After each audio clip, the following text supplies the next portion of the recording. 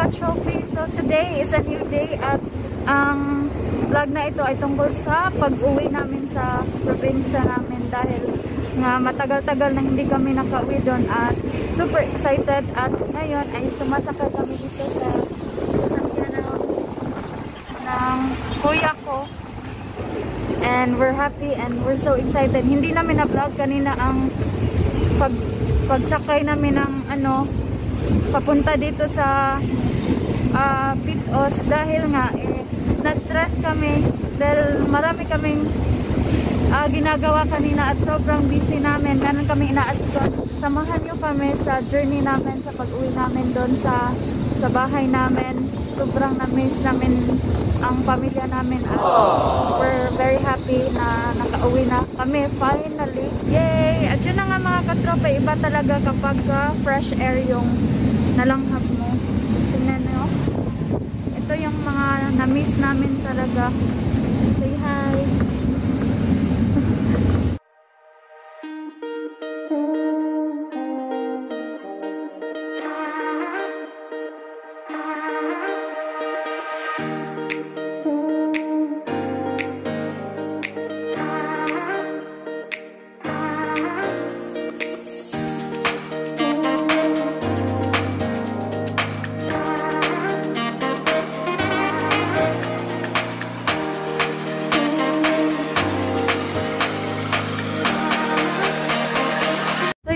Mga ka-trophy, Ah, malapit na tayo sa mansion namin, Char. At ang sarap-sarap lang balik-balikan.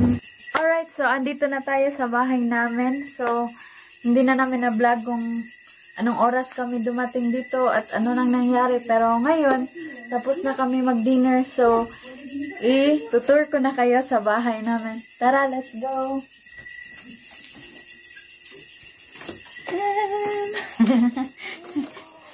itong imported na imported itong ano doorknob galing sa Talangban Galing Italy. galing Italy. So ito yung mamahaling sof so, sofa. Sofa namin. Ginawa lang to ng kuya ko. Tapos ito yung napakalaki, napakalaking flat screen TV hmm, huwag mo na isali yan. Ito yung foam namin. Saka, ito yung kusina namin. Ang kalat-kalat. Okay lang yan.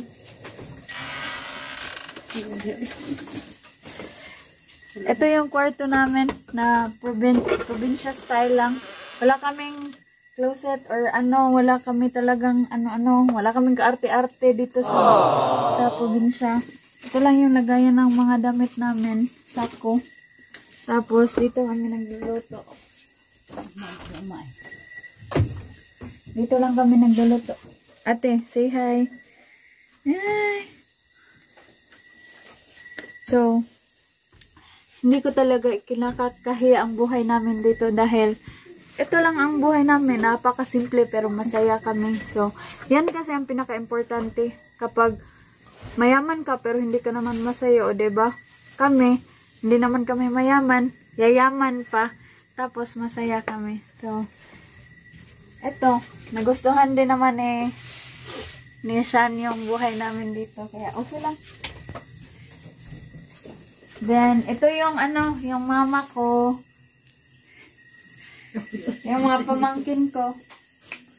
So, that's all. Bukas, abangan nyo yung mga vlogs namin dahil pupunta kami dun sa rainforest sa, ah, ano, tinatawag na farm or basta dun kami. Dun nagtatanim sila mama. Tapos, i, i- ano ko kayo doon sa sakahan namin. So, good night.